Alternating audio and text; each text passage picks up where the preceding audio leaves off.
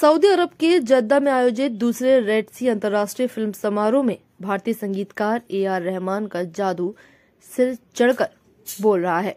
करीब बीस हज़ार अरब स्त्री पुरुष आधी रात तक उनके गीत पर थिरकते झूमते रहे। सऊदी अरब में ऐसा खुलापन पहले नहीं था। हज़ारों अरब लड़कियाँ ए आर रहमान के सुर से सुर मिलाते हुए स्लम डॉग मिलेनियर का वह ऑस्कर अवार्ड से सम्मानित मशहूर गीत गा रही थी।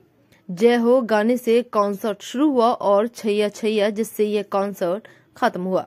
इसमें कुछ ही लड़कियाँ बुरखे और हिजाब में थीं, बाकी ने वेस्टर्न ड्रेस पहन रखा था। ज़ाहिर है, यहाँ ईरान की तरह कोई मोरल पुलिस नहीं थी, जो उनके जुनून को रोक सके। सऊदी अरब जैसे इस्लामी देश में, जिसके बारे में पश्चिमी और भारतीय मीडिया में बहुत कुछ असुविधाजनक छपता रहा है, वहाँ भारतीय फ़िल्म संगीत के प्रति ऐसी दीवानगी चकित करती है। उन हज़ारों नौजवानों के बीच लड़के लड़कियों ने छोटे छोटे ग्रुप बना लिए थे और ए आर रहमान के साथ सामूहिक स्वर में गाते हुए झूम रही थी। सऊदी अरब में ए आर रहमान का यह पहला कॉन्सर्ट था और यहाँ के लोगों के लिए भी अपनी तरह का यह पहला मौका था। अरब लोगों के साथ हिंदुस्तानी, पाकिस्तानी लोग भी बड़ी संख्या में उन्हें सुनने आए थे।